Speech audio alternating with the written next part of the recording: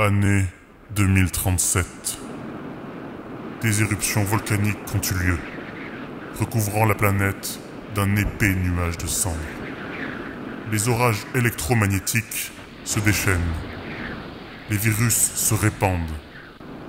Comme vous, la majorité de l'humanité est devenue zombie.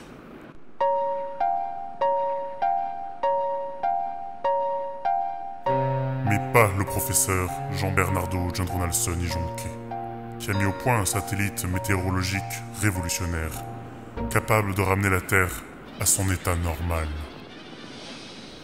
Heureusement pour vous, le professeur a été retrouvé assassiné au milieu de son laboratoire, le cerveau arraché, les plans dérobés.